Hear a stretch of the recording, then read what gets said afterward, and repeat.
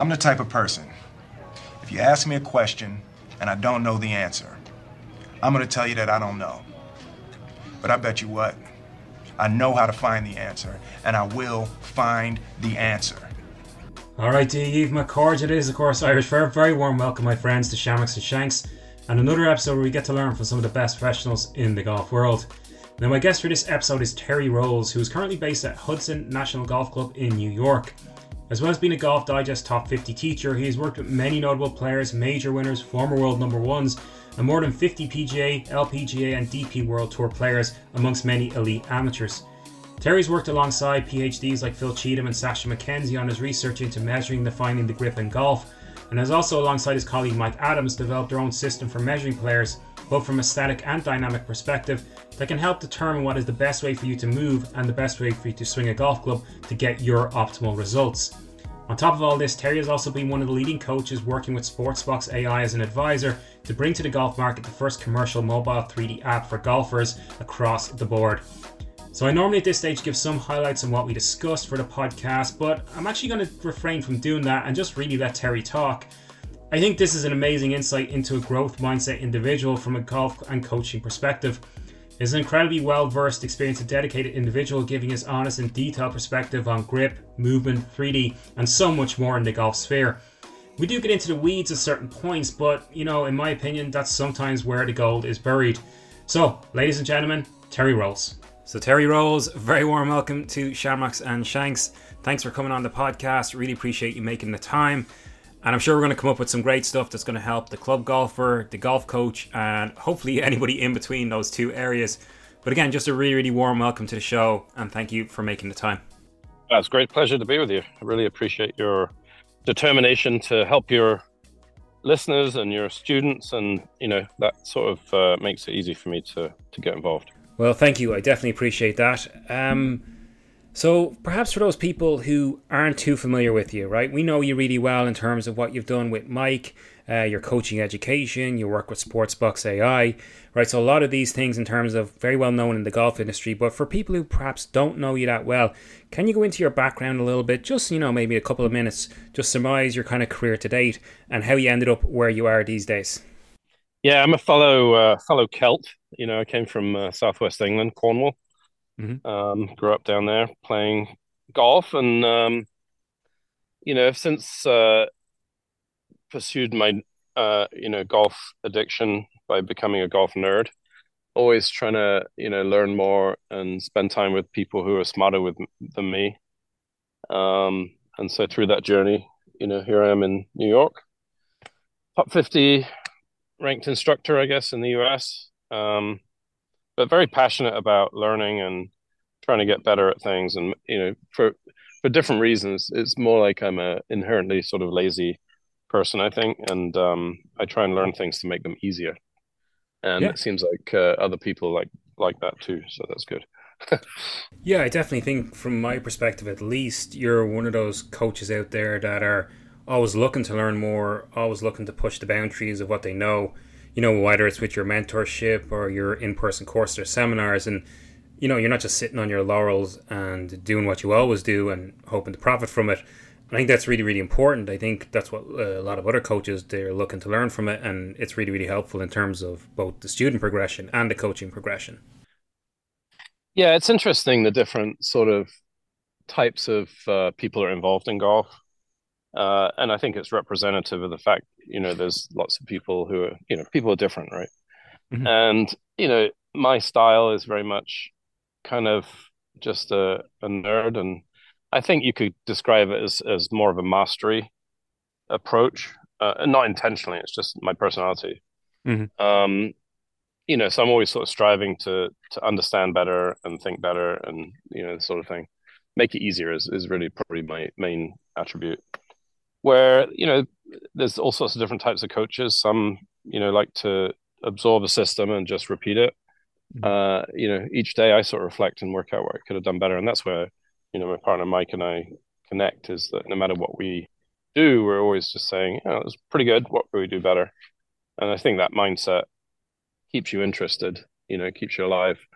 There's always a saying of, um, you know, you got to keep the well full, right? So coaching is a hard job, in my opinion Mm-hmm. People are different. We communicate differently. We have different goals. And there's a lot of things, you know, it's kind of like an iceberg, right? There's a lot of things under the surface that we can't tell. Yeah. And, you know, in every aspect, we're trying to get better, do our job better, and hopefully through that, you know, inspire some some people to some other people to get better and try and understand the game of golf and make it a little bit easier for for everybody. Yeah, exactly. So as you pursue your mastery in the subject and you interact with your students as you pursue that path, you can also help them along the way, which is which is a nice way to be. I think that's a nice goal to have, and everybody benefits from that at the end of the day. Yeah, I just um, think from a coaching standpoint, uh, you know, if you're giving out, you know, every day, you know, you have to have something which sort of refills the the well, as I said before. Mm-hmm. I think it's a, it's almost like an essential aspect or mentality of somebody who's going to coach for a long time is to to think like that because you know just regurgitating or repackaging and things like this it, you know sort of for me that would be relatively unsatisfying. So i'm always trying to just understand a little bit more. Yeah it's it's a journey. Um let's get into some information for the club golfer. Um and we'll start off in my opinion the golf industry as a whole seems to be or appears to be at least shifting away from some more anecdotal theories as technology improves and we learn more um, what are some common misconceptions that you come across from players on your tee?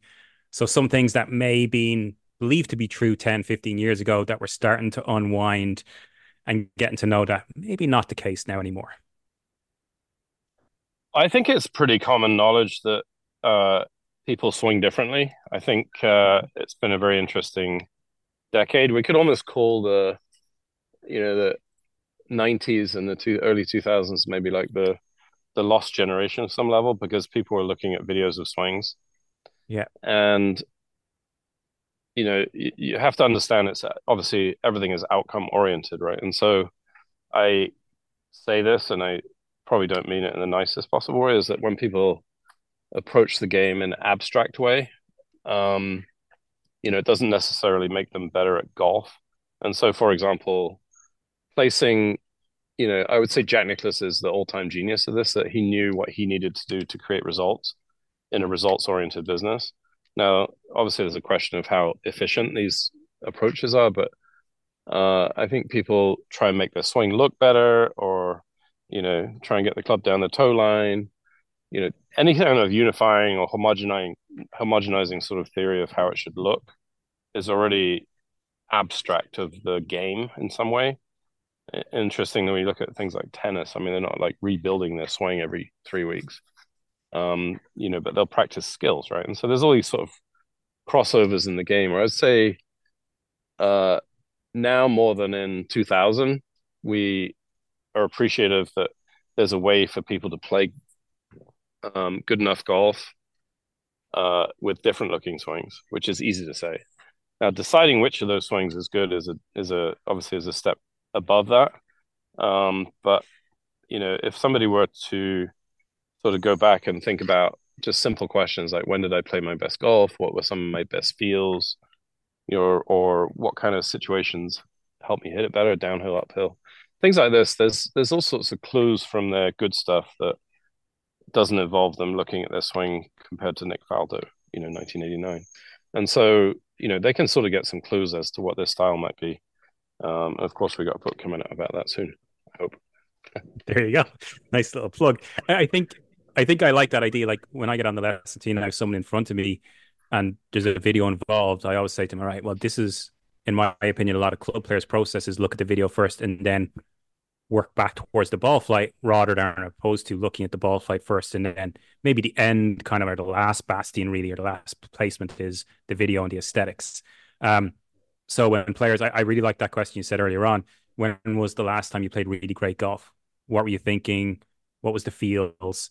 And that's all we're looking for. We're looking for the best blueprint for each individual. And if we can find that, it's a medley of everything and create all these, I don't want to use that term matchups, but in essence, it is a little bit, um, rather than, as you said, hey, we all got to look like this or do this or, or kind of perform like this. Yes, so I'd say that would be the first answer is, uh, you know, I think that's been the, you know kind of the launch monitor generation is that we can have people that uh, come out. I always think back that Hovland, Wolff, and Morikawa all kind of came out at the same time. and you know very different looking swings, and they were mm-hmm. very successful very quickly. But they may not have been allowed to do that, you know, 20 years ago because they they all have some unusual characteristics um, relative to to the norm, right? And so so that's kind of interesting. I think if we you know just raise the question as okay, that doesn't look right. Well, is there a successful player who looks like that? Well, yes, there is, and that's already raises doubt about your philosophy that you know I should look like somebody. You know, choosing which player to look like is a different question, but um, yeah, you know, just that that fact that you can look at different styles of swings and and maybe pick up some some insight as to swing how to swing like someone who's more closely aligned to your personal body movement styles, for example. Yeah, for sure. I, I remember talking to Chris Como some years ago, and I was bouncing a few theories off him in terms of the golf swing, and he just suggested to me, you know, if you have a theory about a certain pattern or of movement, rather than as opposed to looking for players that support your theory, look for players that are very functional but do the complete opposite. And if you find those players that are doing the exact opposite of what you think should happen and they're still making it work, then maybe go back to the drawing board and, and reassess your thoughts or your concepts. So, one of the core aspects of golf is how we put the hands on the handle of the golf club. So, how we grip the club. And considering it's the sole connection to the club, one might expect it to be a bigger focal point than it is, both in kind of coaching and in social media. How do you view the grip functionally? And can you elaborate on how you see the grip affecting the golf swing? How long have you got? That's what I was about to say. There's a limit on this. Um, well, in terms of I mean... how, a, how a club golfer perceives it, because it's it's it's in my in my experience quite far down the list. And yeah. there's, a, there's an apprehension too to change it really from club golfer, nearly a stigma attached to it sometimes. Yeah. Um, so this is actually how Mike and I um, came to work together. Is that I had been doing some research on how the grip affects the the swing, um, and so was you know using 3D motion capture and launch monitor and what have you to to understand if you change someone's grip, you know what sort of things are changing, and basically, you know, there's a lot of things that can change. I mean, I just posted on Instagram this week, you know, that uh, had been clearly, you know, diligently practicing his grip Mm-hmm. And as a consequence, his you know his sort of tilts had evolved over time, right? And so I think um, you know there's just there's so many like continuums in this answer. So yes. one is a question of time, right? So if you were to change your grip, okay, your swing will change over time. That mm-hmm. that's that's a fact. Because yeah, anyway, uh Whereas if you look at it over a very short period of time, it might feel uncomfortable because it's different, right? And so most people don't really get past the short period of time. Um, then functionally, you know, the question is to ask yourself if you have any kind of opinion about a golf grip first, is what is a golf grip? Because if you ask, you know, anybody to define clearly a golf grip in a fashion which pretty much everybody can agree with, you're already kind of in the quicksand, right? So nobody can really do that very effectively without being extremely vague, you know. So, well, what is a golf grip? Well, that's how we connect to the club. It's like, okay, great. So, how do we even talk about different ones? You know, so okay, we're going to talk about different ones. Well, the orientation, okay, fine. Well, we also got like palms or fingers, mm-hmm. uh, you know, wrist orientation, like high hands, low hands, distance from the ball. They all sort of have an effect, right? And so, so you can go into it and say, well, there's different combinations as well. You know, we got strong, strong, weak, weak, you know, whatever you want to call it. So I, I I'm working hard on the book and basically you know you can put nine grips into a chart and say well you can have some combination of strong strong weak weak neutral neutral you know and everything else in between and so to, to answer my own question is like okay so we were doing research and you know phil cheetham and i had a good discussion and worked out how to define the golf grip, and it's a relationship between the the kind of the palms of the hands, you know, as a number, mm-hmm. and the club face, right? And so the club face is actually part of the grip, which is why it's uh, super interesting to watch Scheffler create his grip because he's clearly paying attention to where the club is. Yeah. So, so then you go, well, uh, well, how do you decide, you know, which one of those nine grips we're going to do? And so, you know, for us, obviously, we we test, and you know, effectively, obviously, the hands are connected to the club, which is already the first reason why you should be really interested in um, a grip because it's the obviously it's the the thing that connects to the thing that hits the ball. And then you go, well, above that we've got you know forearm rotation, and we've got you know potentially internal and external rotation, but also retraction of the shoulder and some combination of all of those. And so you know for us we test and effectively we come up with three categories, which is you know when somebody's elbow pulls back like Jack Nicklaus you know, the hand effectively is going to be, you know, more on top of the club, so we call it on top. Uh, some people rotate, you know, more like kind of a Adam Scott or Xander Schauffele, uh, Dustin Johnson, you know, mm-hmm. so they'd be more of an under golfer. Their hand ends up yeah. under, and their elbow stays much more in front. And so you say, well, what does that mean? So, well, there's a natural movement pattern associated with it. So when we say under on top, uh, people jump to the conclusion we're only talking about the grip, but it's much more kind of a movement pattern style, right? And so some people they create energy by rotating their forearms, but their elbows stay in front of their rib cage. Mm-hmm. You know, Dustin Johnson, Adam Scott. But then you've got someone like Jack Nicklaus, Rory McIlroy, you know, where their elbows go behind their shirt seam, actually Hogan. And when they come down, their elbows more beside them and they're, you know, squaring through more of extension style versus yeah. a rotation style. So, you know, so let's say people have a natural movement pattern, but the grip also causes a movement pattern, right? So the grip is for us, it's a, it's a whole bunch of stuff. It's like the orientation of the body. You can set up like a K. It's going to give you a more of an under trail hand situation where the elbow's more under, or a T where you're more level. It's kind of where Scotty Scheffler has progressed to.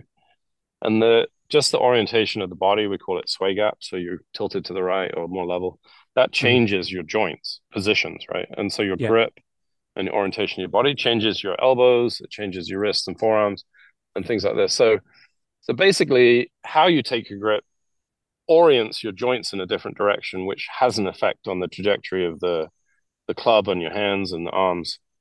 And so, if you're you know trying to change the way that someone's elbow is working or the way their hand path trajectory is working, and you're choosing not to to to talk about or deal with the grip, then it's really you know um, putting lipstick on a pig, I think they say in Ireland.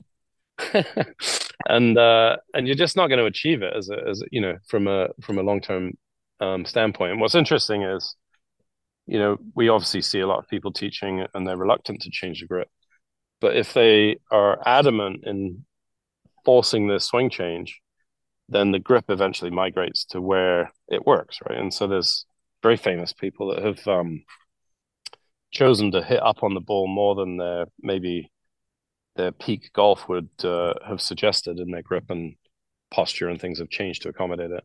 And so, you know, it's a whole system of systems. But basically, in our opinion, you know, we we like to to have the hands move to a place where they facilitate the type of movement that you're looking at. And we very much work back, obviously, from the D plane and understanding how to deliver the club properly. Mm-hmm. Uh, but then you know, if you look at the whole sort of improvement process, you know, trying to make this relevant for a, a club golfer, you know, and nowadays club golfers are pretty uh, sophisticated. They have, you know, simulators at home and things like this. So if you start looking at things like, you know, why does the ball do what it does? Well, you know, you've got like your face angle and your path, but mm-hmm. that doesn't entirely uh, respect like the three dimensional nature. And so some people can have a good face to path, but you know their handle gets really high, or you know something relatively inefficient is happening.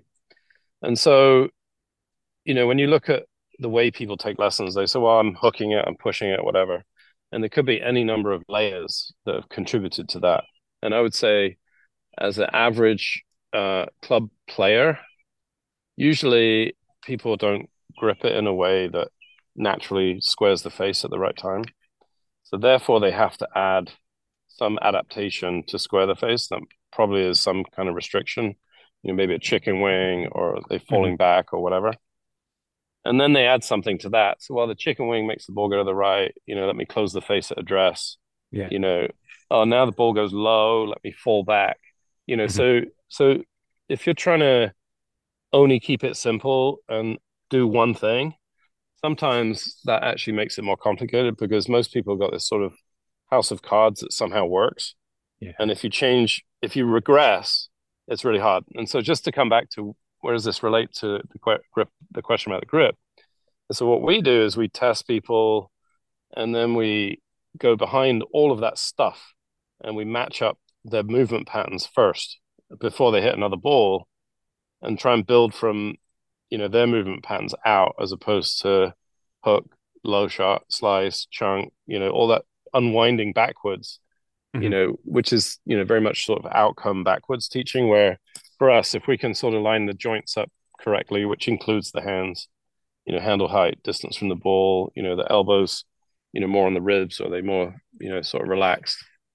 Um you know so there's a whole bunch of things that if you can organize them. So what we try to do is we try to get the grip and the arms and the setup posture organized so that if the person has a relatively uncomplicated you know swing we, we try and increase increase their freedom of motion at that point then technically it should work because as we go back to the D plane and trying to square the face and things like that the biggest contributing factor to squaring the face is the grip and the organization yeah. of the setup relative to it and if you can grip it relatively well, then you can start to unrestrict your swing. And you don't have to have these, you know, downstream sort of redirections and face openers and breaks and, you know, path shifters and things like this that potentially make it a much more physical game than, than it probably should be. And that's where injuries kind of come from. So, long story short, grip, face, you know, sort of, and the associated body positions um, yes. make life a lot easier. If, uh, somebody were to just go way back behind all of their stuff, work out what is an ideal sort of hand and setup orientation for them, and then, you know, test themselves. Uh, you know, probably the magic words are uh, fuck it. You know, when we play golf, you play the first few holes, yeah. and then you go, God, just fucking hit it, and then you relax yeah. and swing normally. Yeah. Well, that kind of swing is the one you need to go out with and not start, you know, after four holes or something. So, you know, just uh, Mike calls it the golf enema. If you can have someone to grip it decently and then do sort of three, four, five swings in a row where they can untangle some of their joints, that then there's normally really extremely profound changes that happen with very few uh, swing thoughts. So it's a long answer, but for yeah. us, it's uh, it's very hard to teach effectively without you know somebody's grip and setup position sort of matching how they will move naturally because then you don't mm-hmm. really have to change the swing very much yeah and you know i i find myself talking a lot about hand-eye coordination if your hands are organized in a way that sort of you know a little bit more natural for you uh, then you have more time and awareness of where your body and hands are in space and that really helps your uh, coordination. I talked to mark bull a week ago about learning and, and developing your own skills and you know where you want to go and a phrase he always used is how good do you want to be? And i think when you're looking at the best they're going to have to go into more detail and have to have more explanation. So i'd never apologize for having more detail in your answers and when you reference you know scotty scheffler it's obviously very well known now that he uses a molded grip to warm up quite a lot so maybe that's an area that some amateur players could explore i think also when you're talking about the grip you know, from what you're saying, it's not as simple as, oh, if I'm slicing it, make it stronger, if I'm hooking it, make it weaker. There's a lot more that happens when you do those things. So when you change how those hands sit on the golf club, there's a whole variety, so to speak, of knock on effects. You know, for example, if I strengthen that lead hand, that lead shoulder is going to get a little higher. Maybe the handle might be pushed a little further forward. So a lot of things behind the scenes, so to speak. So if you are exploring grip, make sure you have maybe a little bit more detail behind it before you go exploring it. One of those nice things I noticed you mentioned there was the eye hand coordination, and it's something that probably doesn't get mentioned a whole lot, to be honest with you, uh, but could be a nice area for players to look at some skill development tasks or some drills. Do you have any nice tasks or drills that you like to give to players in terms of developing that eye hand coordination? I had a business breakfast the other day, and there's two guys, and one was uh, asking me a lot of questions and not having tested him, I was kind of answering like an encyclopedia, right? Yeah. And so he asked all these questions, like all these theories about golf and this and that. And so after like uh, 20 minutes or something, he's like, well, I don't know how that's going to make me better at golf. And I said, well, you didn't ask that question. You know, you asked a bunch of swing questions.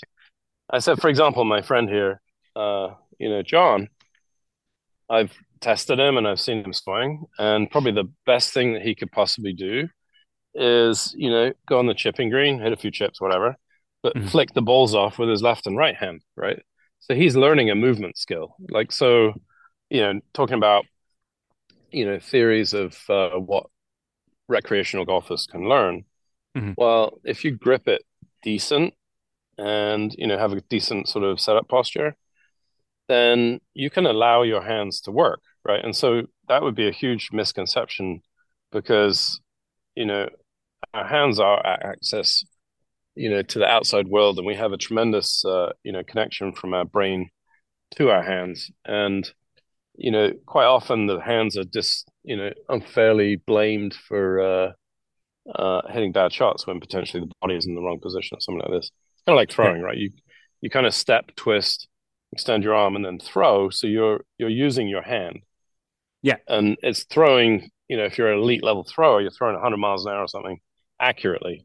But Mhm. the purpose of the step and the twist and all that stuff is to put your your hands in a place where you can use them, right? And it's the same in the golf swing. If you're not, um, you know, matched up, you know, if you're not in the right place at the right time, your hands are going to cause the face to, well, they're part of the process where the face is not in the right position. Yeah. But locking the wrists and locking the hands down is, is definitely not a solution. So, so that'd be a fun one, I think, is just, you know, if ever you go practice, just flick a few balls. Perfect. Um, you know, I have this, you know, trying to add some stuff to the book. It's like we have, uh, you know, nine swings, nine grips, and beyond those, you know, setup and swing shape, you know, power generation variables, which need to sort of line up for someone to be able to go to the next level.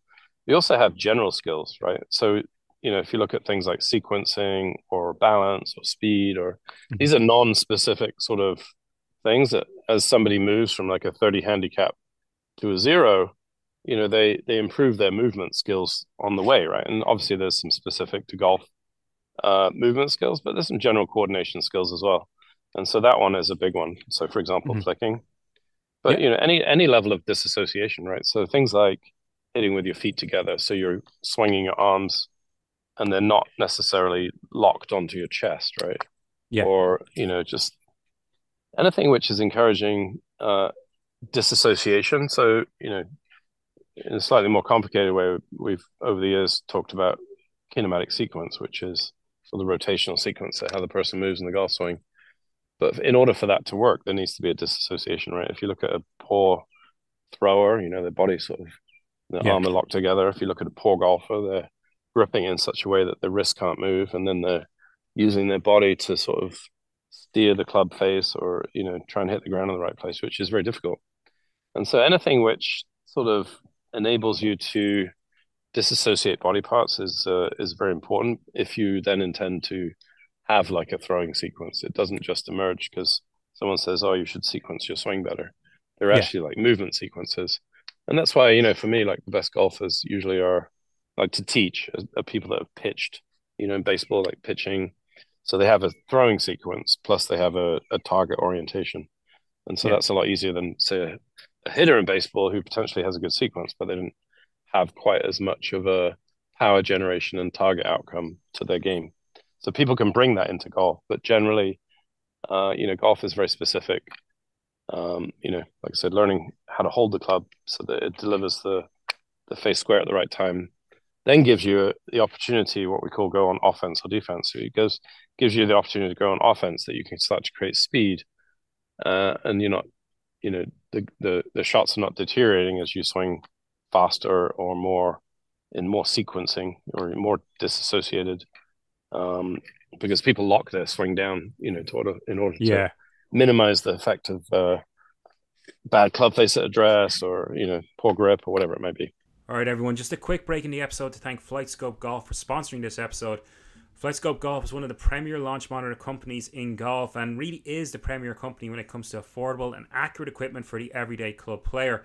With the FlightScope Mevo and indeed the Mevo Plus, you can purchase a launch monitor to suit exactly what your needs are in terms of your golfing progress right now. And with the Mevo Plus, you actually have the ability to add on packages like impact location, different data parameters as you go and as your needs change as a player. There's no annual fee either, so there's no hidden charges. You just pay up front and you get your product straight away.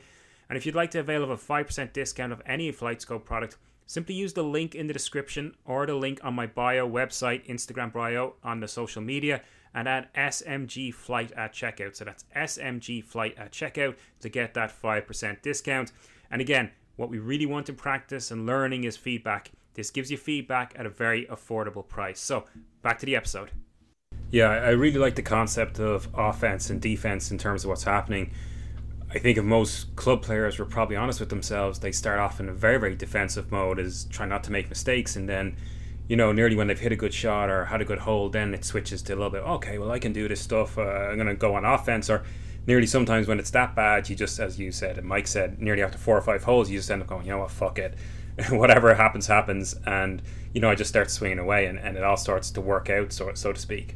Sorry, go on. To yeah. finish, finish that one, uh, almost everybody that does, you know, the stack system or or tries to get longer, they generally will hit it straighter, right? Yeah. So in order to hit it further, you need more energy producing things, and Mhm. you need to accumulate or create and accumulate and send energy through the body, and the the you know the the golf swing is a multiplier of energy, right? And if you got restrictions, you're not going to gain speed, right? And so you know, some people doing the speed sticks or you know stack, long drive, whatever it might be, they they, in my experience, when people get faster, they usually hit it straighter as well. And so it's kind of interesting that it enhances the, unless it hurts them, of course. So Yeah. so they they either free up their joints, gain disassociation, or they continue to be restricted and get hurt. So one of those two pathways. Yeah, that's that's the only thing I have when I'm looking at stack or any of those speed training systems is you, you kind of need to be prepped, especially as you're a club golfer, before you start on those journeys. Um, if you're a junior, it's okay, but you kind of just need to be careful in terms of that. They're great, really, really helpful, but again, just need to be careful. Um, talk about the club player getting better. Probably one of the biggest advancements of the last like definitely two years or three years has been AI, and in terms of using it in 3D technology and you played a prominent role through your association with Sportsbox AI. Just a couple of queries regarding this area. So, firstly, um, if one of the club golfers is listening to this and they go, you know what, I'm really interested, I'm gonna about to buy Sportsbox, I'm gonna use it. Should they learn anything before they jump on the app? Uh, and how would they use it in the best possible way to improve their game? Well, I think ideally, uh, you know, it's like buying a a TrackMan or um, force plates and things like this. is still, to some degree, a coach's tool, Mhm. but we're working very hard to make it um, usable. So it's honestly, it's better to to to start off with a coach, Okay. and work out what the the best numbers are to to pay attention to. You know, it's like what's the low hanging fruit, where's the biggest bang for the buck, and things like this. Um, yeah, we're going to be having, you know, certain things coming through the app, which will make it a little bit more consumer friendly. But right now, it's it's more of a coach tool. And so the the way that most people are using it is they're taking a lesson, and then the coach is setting up some goals for them to work towards. And so that would be the ideal situation is that you then, you know, you're going to hit balls with feedback, right? And so, you know, whether we like it or not, we've always been biomechanists and movement Mhm. coaches because if we tell someone to shift more to the right or go to the left earlier or turn more, I mean, it's effectively biomechanics, right? Yeah. And so when when they're taking their lesson, there's definitely a way that um, they can, uh, you know, uh, think about the things that they're working on, and then there's definitely a number to associate with that.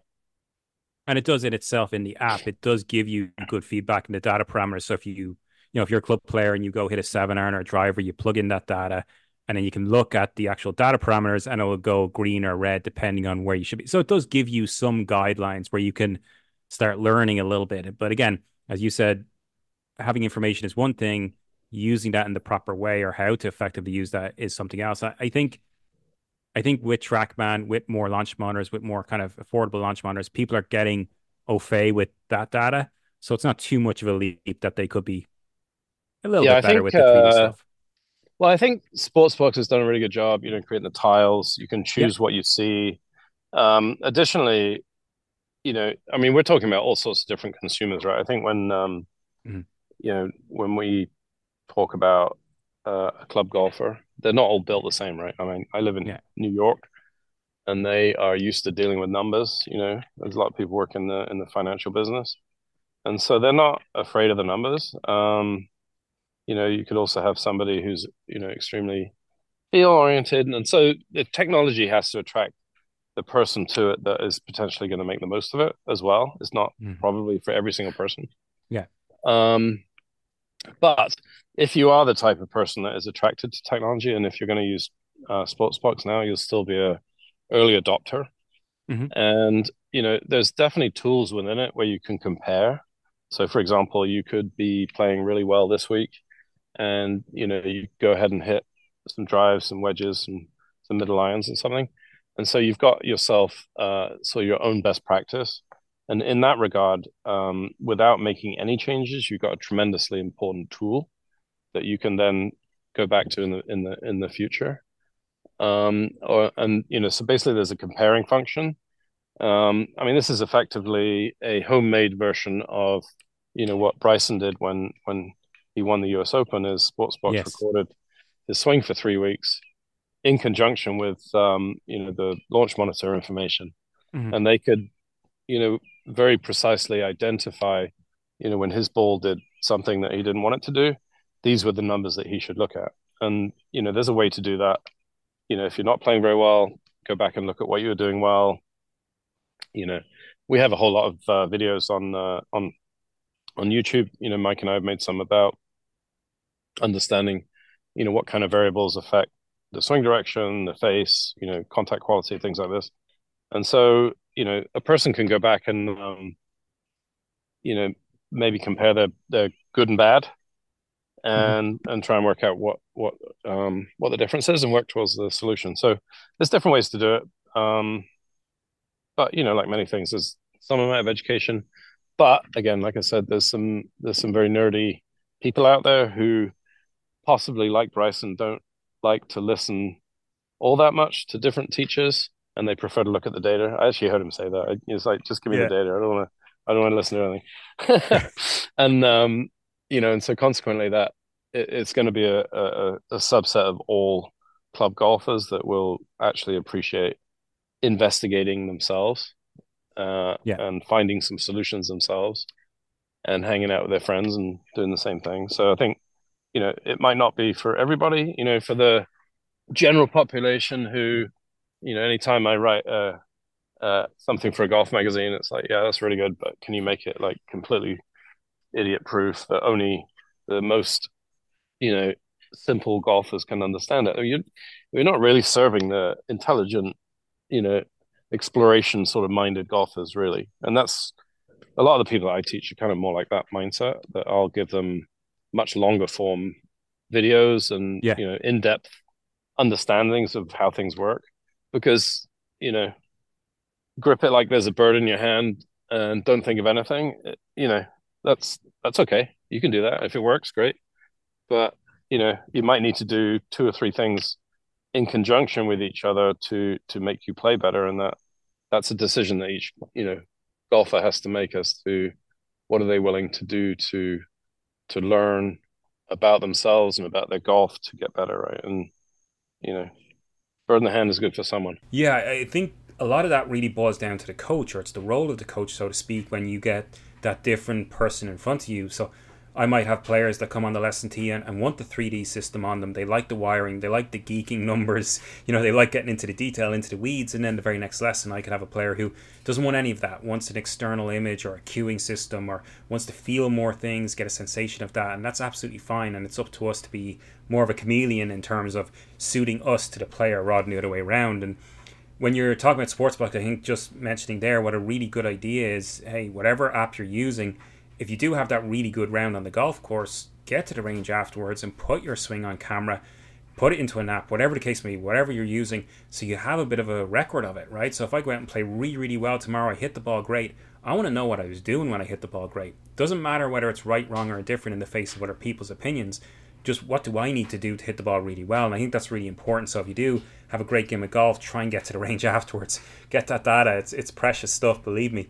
Um, when talking about Sportsbox, the, the one critique about 3D apps right now, has been their accuracy, and that really goes back to the fact that there's only, in most instances, one camera on you. Now, I know Sportsbox and other apps, or other companies, excuse me, now have studio versions where you can have multiple cameras on you. But there is that critique about, okay, well, there's only one camera, so there's going to be occlusion, or I'm not going to be able to see everything. Do you think that's a fair critique of the system right now, or do you think as it goes and the AI develops, it's getting more accurate all the time? and obviously even in that even in the discussion of accuracy there's the accuracy of the actual data and the accuracy of representing what the player actually does. So what i mean by that is player on a golf course hitting a seven iron that doesn't know they're on camera will probably be a lot more accurate than a player in a very kind of um, let's say a studio boxed in and with all the wires on them. So in terms of the overall question you know how accurate do you think the 3d apps are right now? And do you think it'll constantly develop? Or what's your viewpoint on that critique? Well, uh, it is a unanswerable question in some ways, in okay. that you know, uh, you know, it, it's it's reasonable that you can go to a lab, you know, make an appointment, you know, walk through New York City with your clubs and go to the lab and you know, put a suit on and just swing naturally, whatever, you know. So there's that sort of really extreme version of like a lab yeah where you know maybe they can connect some uh sensors under your skin you know dig some holes put it on the bones because you know the muscles are actually a little bit of a problem from an accuracy standpoint and so there's that ultimate accuracy right and yeah. so which perfect. we'll never That's, get right no but you know uh, if you're gonna if we're gonna have a discussion sort of have to set up the parameters of the discussion yeah right? 100% so what's the scope of the discussion is the opposite is no technology at all, right? You're mm-hmm. just eyeballing it. Um, yeah. And so somewhere in there is all possible accuracy measurements, right? You know, you sort of quickly glance at a swing as you're walking by. That's something, right? And so that's like mm-hmm. the one end of the spectrum. And, you know, when people ask me my opinion on a swing as I walk past, they never accuse me of having the wrong camera angle, by the way. I'm always curious about that one. they really do say, "Well, your eyes, your eyes weren't your eyes weren't down the line on that one." No, they weren't. I wasn't kneeling down, you know, in, in the hand. yeah. But then at the same time, when I make a video, they they, they might no. I mean, obviously, if you're gonna, That's, I've never ever thought about it that way. I've honestly never thought about that perspective. like, no pun intended. That's brilliant. so, okay, so we got this incredibly wide spectrum of all possible accuracy, uh, and I would say at the eyeball it end of the spectrum, you know, we have a lot of experience looking at videos and 3D and what have you. And so I would say that technology has trained our eyes over time, right? So I find that when I use technology, I see things better eventually. Um, so, you know, you could have trained or untrained eyes, right? And when you say to someone, you know, people come in and they have a lesson, they're like, you know, all these pros, they swing the same, you know.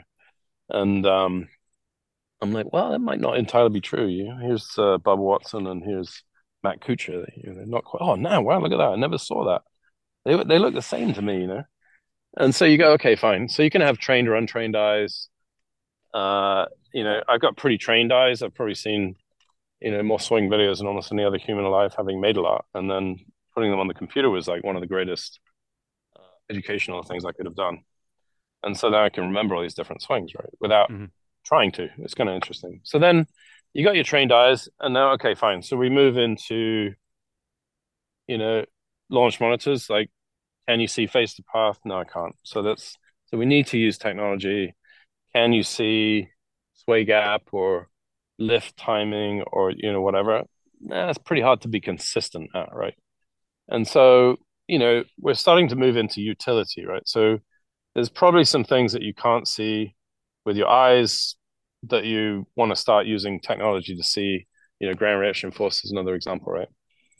So, you know, when we're comparing accuracy, the question is, what are we talking about? So, when I hear people talk about accuracy, I I feel like, you know, that's not accurate. Therefore, I'm going to keep using my eyes. So, which is probably not a very good comparison. So, I would say that we're significantly, you know, more accurate than a even an experienced set of eyes. So yeah. so we're moving into probably makes sense to use something, right? Yes. So then we're in amongst the weeds, and we've got, like I said, we've got this crazy extreme example of, uh, you know, you go to the lab, they put sensors into your skin and measure your muscle, you know, what have you. They can't really put sensors in your brain and understand why you chose to swing like that. You know, well, you stayed down uh, too long on that one, according to the data. Well, I was trying to hit a low shot. So, oh, didn't know that. So, you know, you sort of get into, you know, where Mark Bull investigates a lot is, you know, sort of, you know, the the mental and physical kind of relationships of concept and intent and things like this. Yeah. So then we go, okay, so how how about uh, you know, you've looked at probably some 3D systems which were inertial. So they had, you know, three degrees of freedom, but not six. So, so there's it's possible to measure rotations, you know. So something like the pelvis would be pelvis turn, mm-hmm. side bend, and forward and backward bend. Um, but it didn't measure translation right. But that yeah. those kind of systems were actually pretty expensive for what for three degrees of freedom. And you know, I found it very difficult to understand. You know, so for example, if you're looking at something like uh, you know pelvic side bend, Yep. I don't know if it was not side bending because it was, you know, moving side to side or, you know, too much sway, for example, caused yeah. tilt, or was it just someone causing too much tilt? And so those numbers uh, kind of goes back to, you know, what I said, it's kind of abstract in that it's not very close to the outcome and it's sort of incomplete information. So we go, okay, three degrees of freedom is probably not ideal, in my opinion, mm-hmm. because if we say, well, we're using technology, you know, for me personally, I'm using technology to help me make decisions. Am I seeing what I think I see? So therefore, obviously, we need some level of confidence that the the data is accurate and consistent. And you know, is it helping me to learn? You know, the relationship between these numbers. You know, so basically, just using a you know 3D system is very beneficial. So, so I would go, okay, so six degrees of freedom. We're looking at you know a much more elaborate sort of setup in terms of you know you're putting on wires or you know balls or whatever it might be. Yep. And that you know obviously limits you to a fixed location. So so we go okay you know upside possibly better accuracy. You know there's a calibration component to it which says okay here's where your joints are and what have you. And so you know the calibration um, is is an upside of a you know fixed location. So relative to zero, uh, I would say that would be have the chance to be more accurate. But to answer your question after 12 minutes, um, you know, the AI component of it yeah. is it's not as if there is one camera, right? It's like there are multiple cameras. And so, you know, I was present for many of the early uh, AI trainings machine learnings, and we would have. Uh, I'm trying to think. We had like eight people sitting around with eight different cameras, but then internally, I think they had multiple, you know, different camera systems. And early on, it was manual dig- digitization. So, mm-hmm.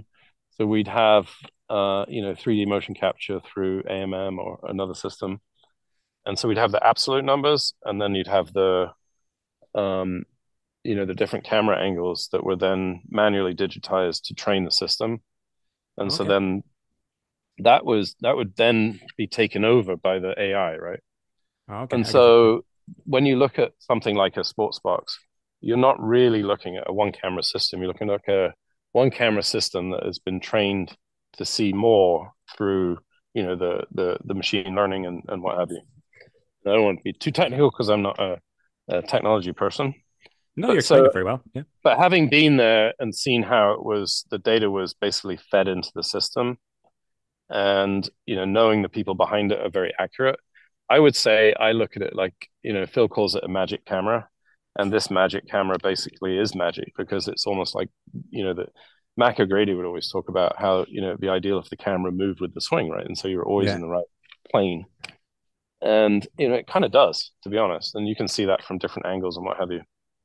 And so, you know, interestingly, the the very first swing that we were seeing numbers with uh, was was Bryson's, and interestingly, the most accurate number early on was the trail arm uh, flexion extension, and the arm would disappear behind the body, right?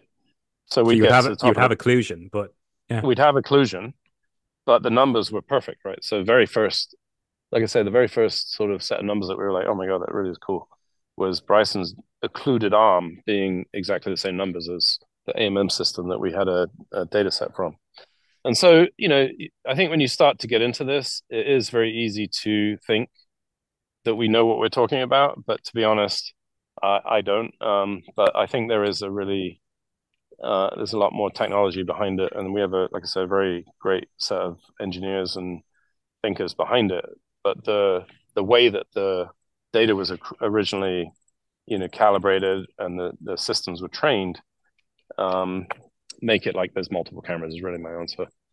Um, so now, from a consistency standpoint, um, you know, one of the lessons that we learned from uh, you know these three weeks, four weeks with Bryson when he won the U.S. Open was that the the data is extremely consistent, right? So if you have somebody like Bryson who's swinging pretty much close to the same every single time, you could start to compare your data to the reality, right? Which he is is a very consistent golfer, and so that that's a very important component that assists uh, teachers and and potentially consumers using the technology is you know as long as it's consistent you can use it right and so we know that there's a difference between uh, you know the way foresight works and the way a trackman works they measure in a different way mm-hmm. from a different angle a different time.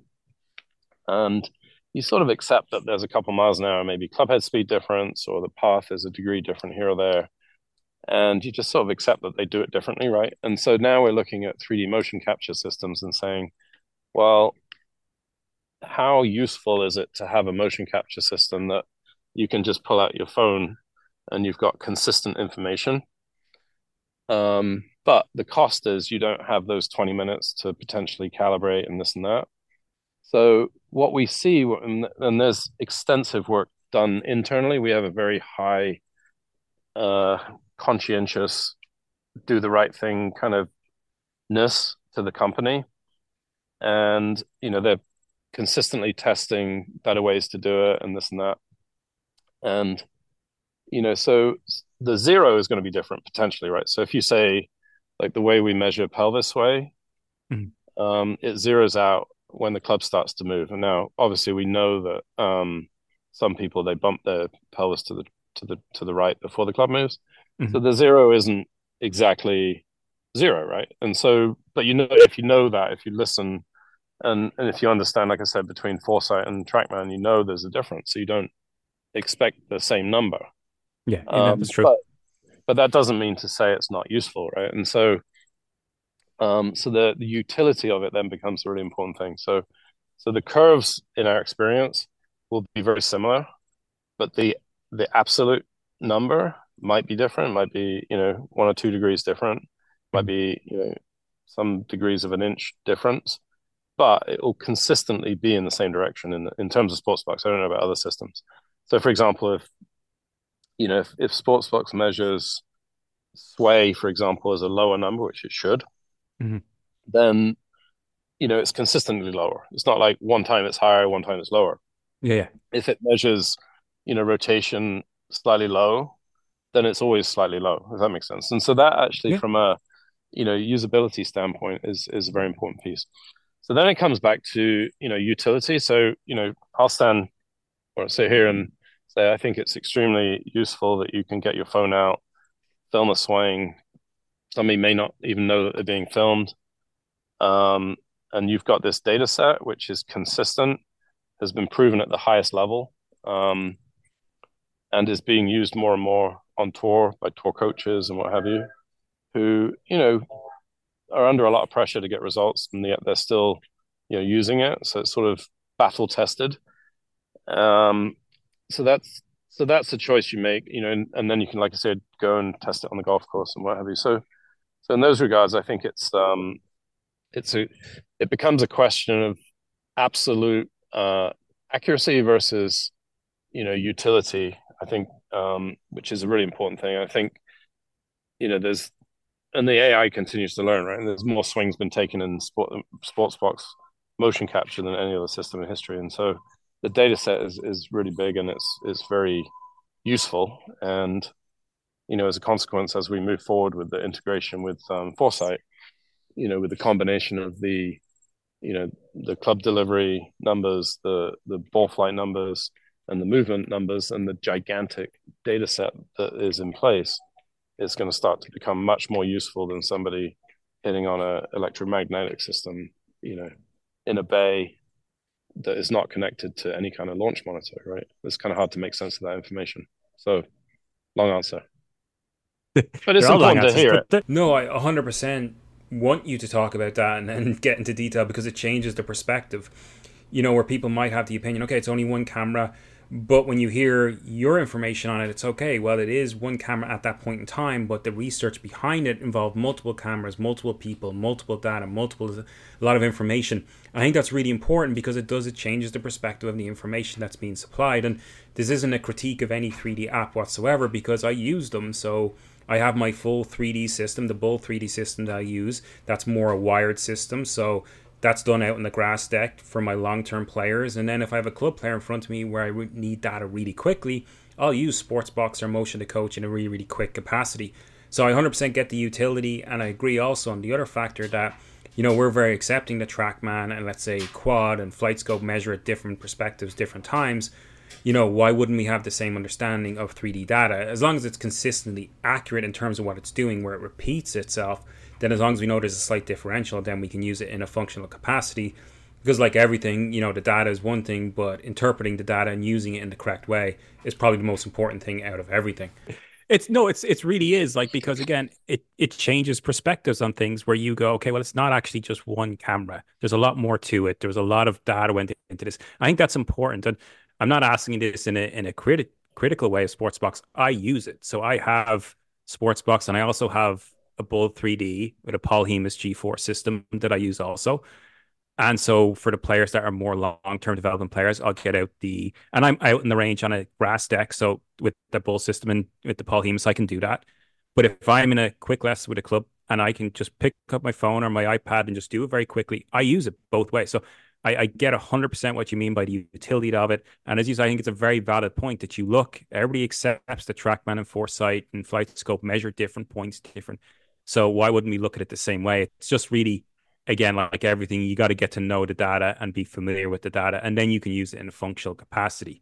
Um, it, it, we're going to go on to the coaching section side of things, and uh, I'm just going to move on to a question. Uh, I'm glad very... I I'm glad I kept it simple then. yeah. but again, sometimes here's the thing. I think to answer questions accurately, you can't portray who you are and what you've gone through to learn that information. Right. I think if you gloss over from what you've done, then you're kind of betraying the accuracy of what you're giving out information. And people are going to listen to this and what you say, they'll hear and they'll validate. And you know, you got to represent yourself and your thoughts and your process and what you've how you've traveled through this process to get here. I think that's that's a very very fair thing to do.